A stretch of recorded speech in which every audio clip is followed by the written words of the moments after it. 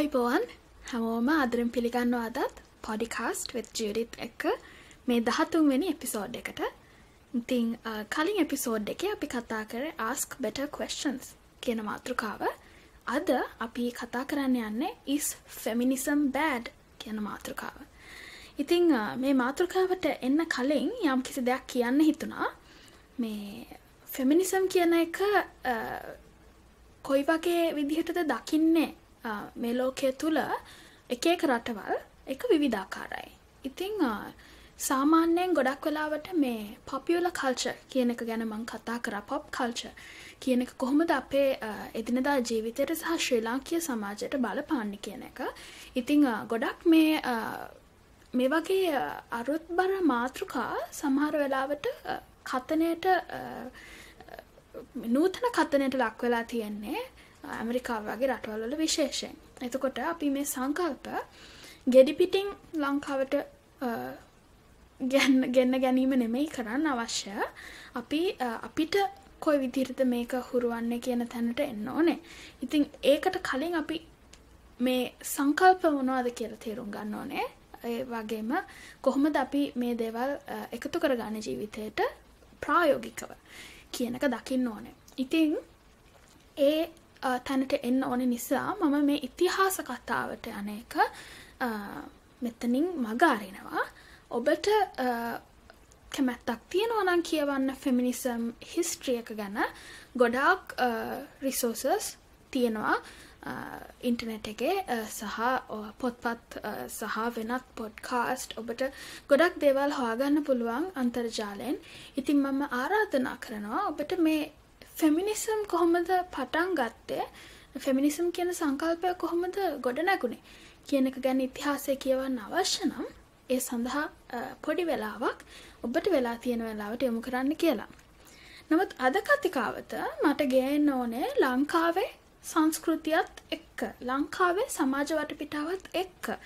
Is feminism bad? කියන ප්‍රශ්නෙට උත්තරේ හොයාගන්න.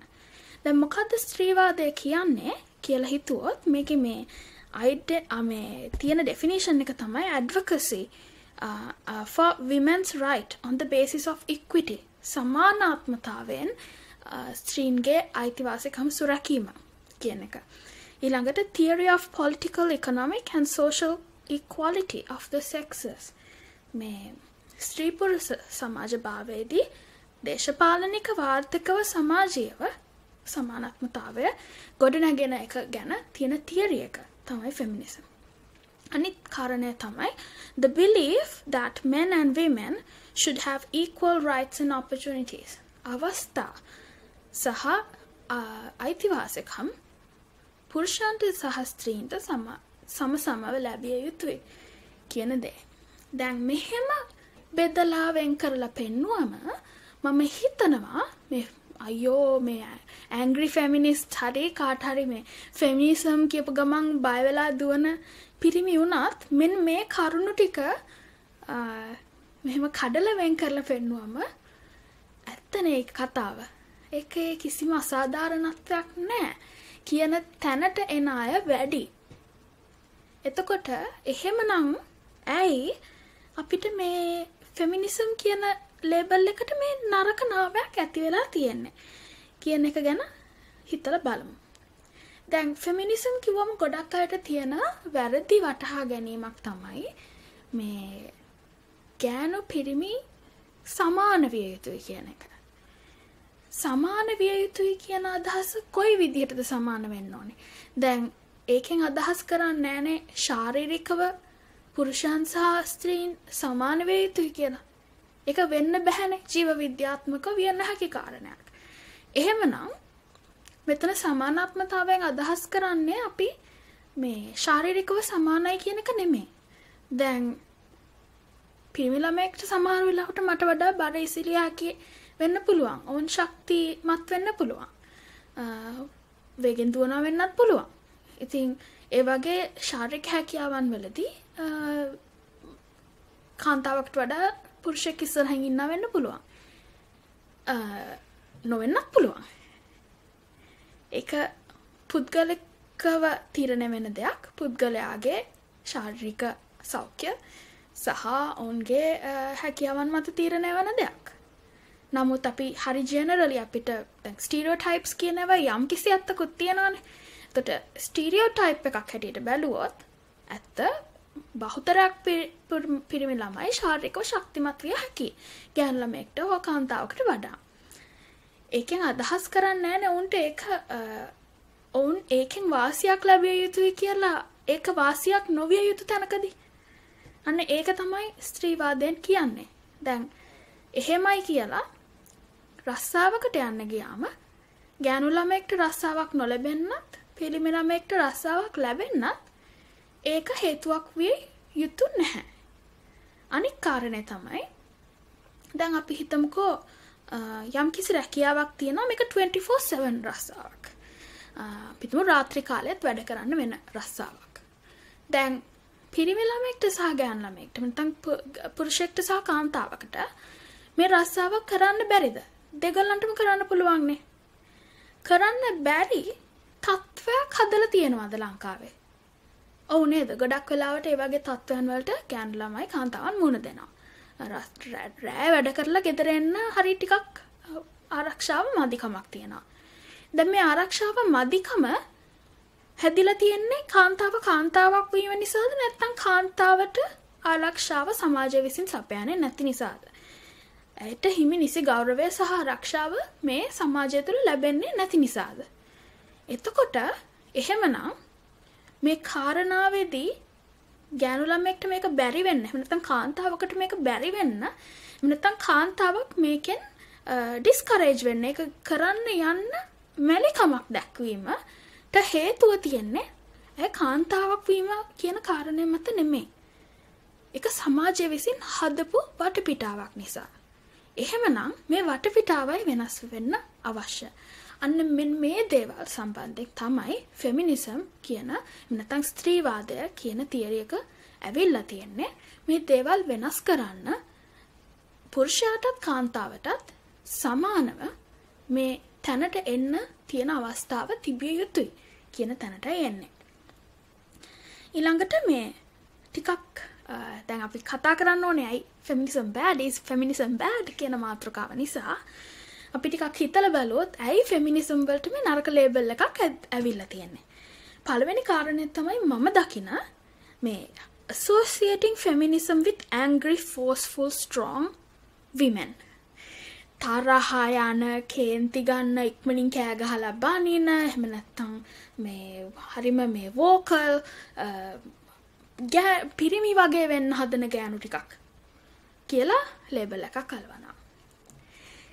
දැන් කවුරුහරි හිතන් ඉන්නවනම් කාන්තාවන්ට තරහයන් නෑ කියලා. ඒක නම් හරිම විහිළුවක්. ඒවගේම කවුරු හිතන් ඉන්නනම් කාන්තාවන්ට චතුරව කතා කරන්න බෑ කියලා. ඒකත් ලොකු විහිළුවක්. කාන්තාවන් ශක්තිමත් නෑ කියලා හිතන් ඉන්නවා නම් අම්මගෙන් ගෙදර ගිහිල්ලා අහලා බලන්න. කොහොමද ළමයි හම්බ වෙද්දී දරාගත්තේ?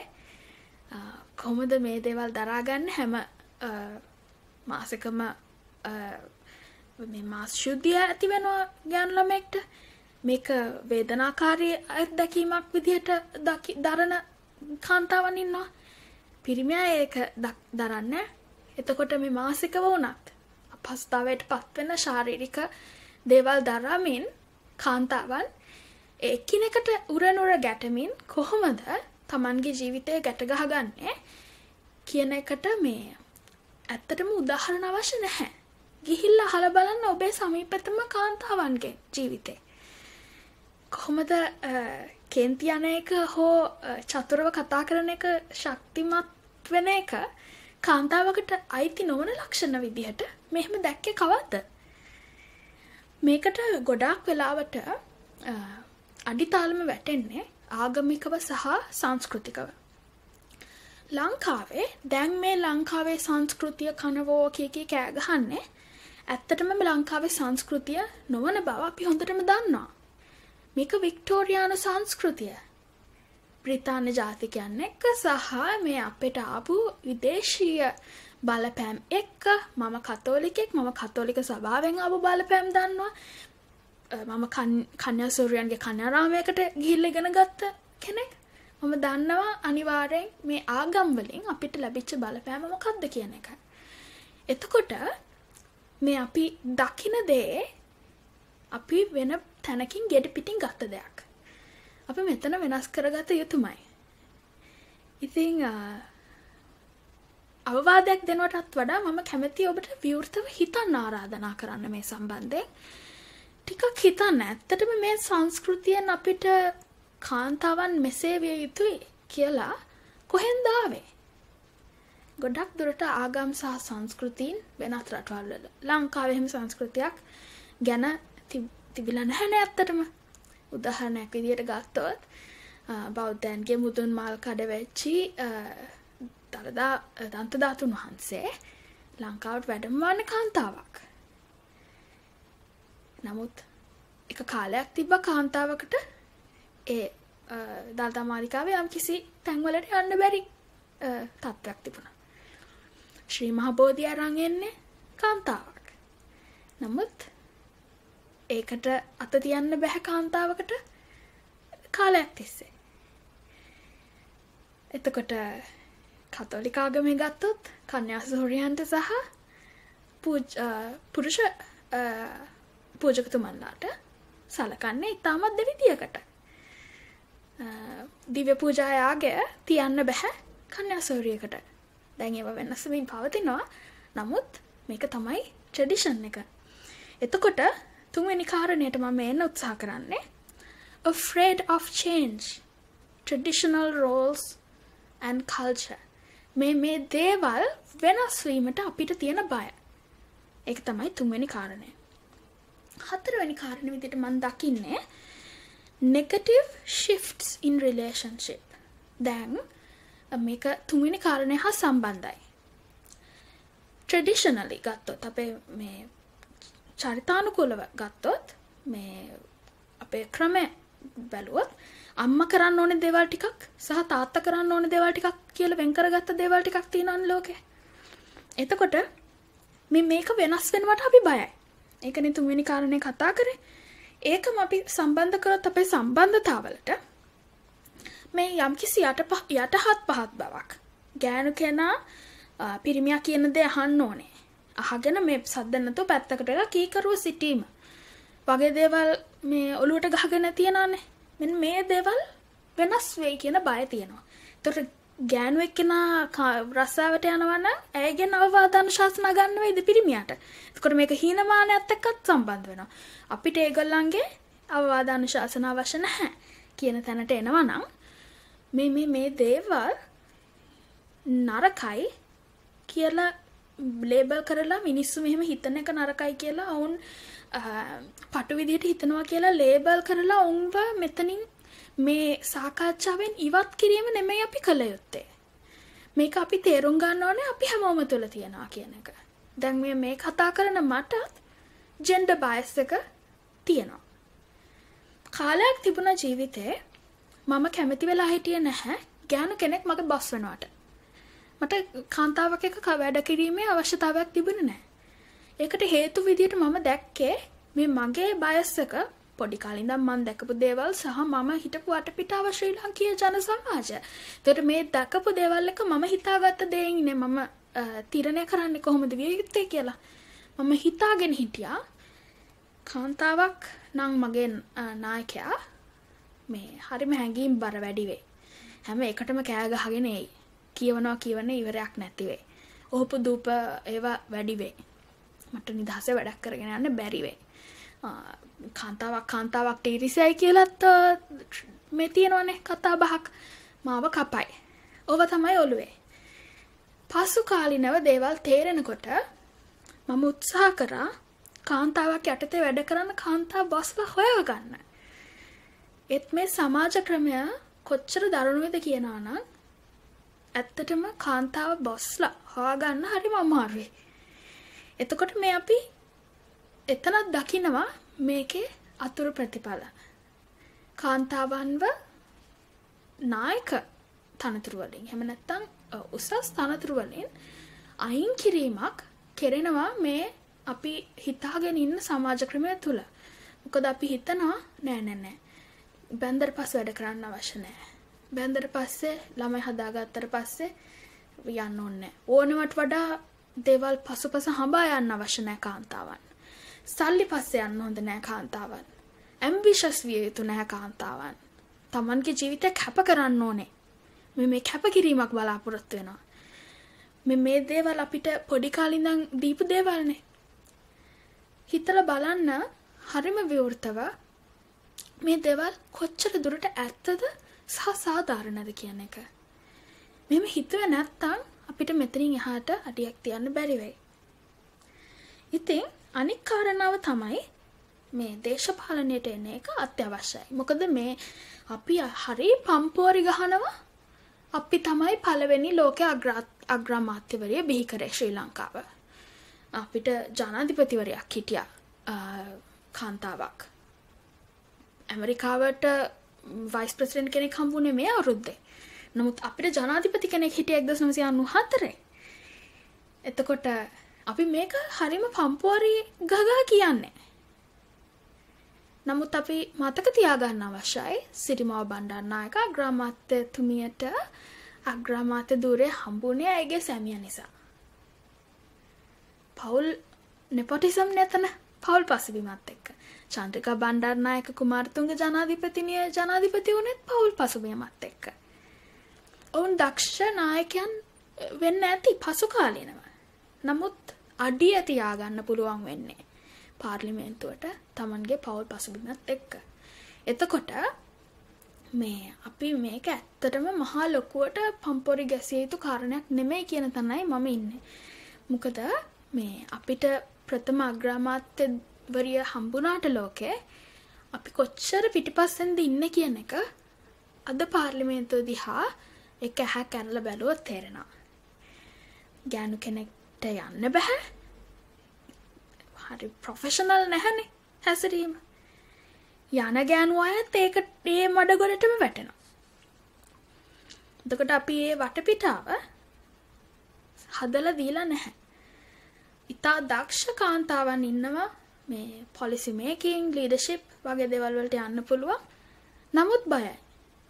හේතුව පාතාල කල්ලි වලට මේ කනෙක්ෂන්ස් තියන අය ඉන්නේ මැරයෝ මැරවැඩකම් කරන අය. එතකොට මේ දේවල් එක්ක තමන්ටත් එහෙනම් ඒ සම් ඒ වගේ පසුබිමක් තිබිය යුතුයි මේ බය නැතුව ඒ වගේ තැනකට ගිහිල්ලා වැඩක් කරන්න, කතා කරන්න. ඉතින් මේ දේවල් වෙනස් වෙන්න ඕනේ. අපි ඉස්සෙල්ලම අපේ ඔළුවෙන් මේ දේවල් බැහැර කරගත්තොත් විතරයි. ඉතින් ඇහැම බලනකොට ඔබට තේරෙනවා නම් feminism is not bad. Feminism කියන සංකල්පය හැදුනේ පිරිමින්ව යට කරගන්න නෙමෙයි. මේ කාන්තාවන්ට මේ අවස්ථාවේ තියෙන අසාධාරණය අඩු කරලා ඔවුන්ට යම්කිසි සමතනක් ලබා දෙන්න පුළුවන් විදිහට සමාජය වෙනස් විය යුතුයි කියන කරුණු කාරණා ඉස්සරහට ගේන්නයි ෆෙමිනිසම් තියෙන්නේ. ඉතින් ඔබට මොනවද කරන්න පුළුවන්? පළවෙනි දේ තමයි pay attention to your thoughts. කාන්තාවක් ගැන නරකක් හිතනකොට හරි ෆෙමිනිසම් සම්බන්ධ දේවල් සම්බන්ධයෙන් නරක දෙයක් හිතනකොට හිතලා බලන්න ඇයි මෙහෙම හිතුනේ මොකක්ද මම මේ විදිහට හිතන්න හේතුව මේක කොයිතරම් දුරට සාධාරණද කියන එක.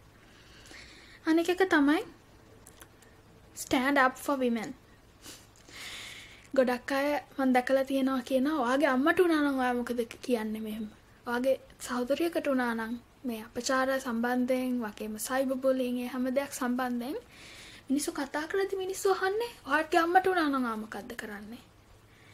දැන් ඇයි ඒක Tamanගේ අම්මා විය යුත්තේ? Tamanගේ සහෝදරිය විය යුත්තේ? Tamanගේ පෙම්වතිය විය යුත්තේ? එහෙම දැනෙන්න හිතට. එතෙන්ට එන්න අවශ්‍ය නැහැ. කාන්තාවක් කාන්තාවක් හැටියට දැකලා කාන්තාවට ගරු කරන්න පුළුවන් වෙන්න ඕනේ. Tamanගේ කිසිම නෑදෑකමක් නැති වුණත්. පුරුෂන් සහ කාන්තාවන් දෙගොල්ලන්ම මෙතනදී මේ පිරිමියට විතරක් බැනලා වැඩක් නැහැ. කාන්තාවනුත් කාන්තාවන්ව පල්ලෙහාට දානවනේ. අනික එක තමයි මේ තමන්ගේ බයස් එක තේරුම් ගැනීම. මේවට හොඳ රිසෝසස් ගොඩක් අන්තර්ජාලයේ තියෙනවා. ඉතින් මං ආරාධනා කරනවා මේ ක්විසස් ජෙන්ඩර් බයස් ක්විසස් හැම කරලා බලන්න තමන්ගේ ජෙන්ඩර් බයස් එක තේරුම් ගන්න ඕනේ. ගොඩක් මෙහෙ රස්සාවල් වලට යද්දි ඉන්ටවිව් එක එක කොටසක් තමයි ජෙන්ඩ බෑස් ඉන්ටවිව් එකක් තියෙනවා. ඉතිං මේ දේවල් වෙනස් වේමින් පවතිනවා. එක හොඳ දෙයක්. එත් එක්කම මේ ජෙන්ඩ බයස් කියන එක සම්බන්ධයෙන් හොඳ ටෙඩ් ටෝක එකක් තියෙනවා. මේ ක්‍රිස්ටන් ප්‍රශ්න කියලා කාන්තාවකගේ එකත් බලන්න කියලා ආරාධනා කරනවා. තමන්ට හැකි හැම වෙලාවකදිම කාන්තාවකට අවාසියක් සිදුවෙනවා නම් පුරුෂයෙක්ට වඩා ඒ තැන වෙනස් කරන්න උත්සාහ කරන්න. තමන්ගේ යාළුවෝ සමහර වෙලාවට වැරදි විදිහට කතා කරන වෙන්න පුළුවන් ගෑනු ළමයි ගැන. ඉතින් ඒ වෙලාවට යාළුකම ආරක්ෂා කරගන්න ඕන නිසා කරබාගෙන බියසුලුව ඉන්නවනම් ඒ නිවටකම අතහැර ගැනීම ඉතාම වැදගත්. මම මේක ගොඩාක් දකිනවා ලංකාවේ අපේ සමකාලිනයන් අතර පවා මේ කාන්තාවන් තමන්ගේ කාන්තා යාළුව වෙනුවෙන් නැගී සිටීමක් නැහැ. අපි උදාහරණයකට ගමුකෝ ෆෙස්බුක් එකේ හරි මොකක් හරි ෆොටෝ එකක් දාලා තියෙනවා අපි හිතමු ටිකක් ඇඟ නිරාවරණය වෙනවා මේ ඇඳුමක් කියලා.